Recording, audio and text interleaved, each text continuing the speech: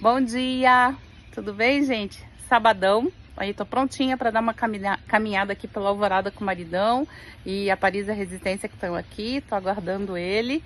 E ó, tô passando para desejar boa sorte para vocês porque amanhã é dia de Enem.